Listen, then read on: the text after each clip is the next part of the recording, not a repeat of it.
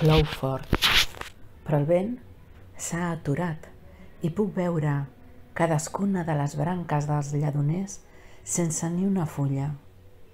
He resistit al vent. Torno a veure-hi clar. Hi ha mil i una formes de resistència per fer i per inventar. Potser una de les més difícils, de les més actives i contraverinoses és riure.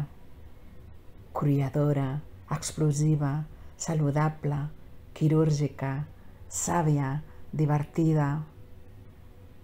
La sonrisa ens cura. El metge Claude Bernat, un mestre, deia que hem de ser les que resistim a la mort. És una definició canònica de la vida. L'escriptura, la pintura, l'art són actes de resistència.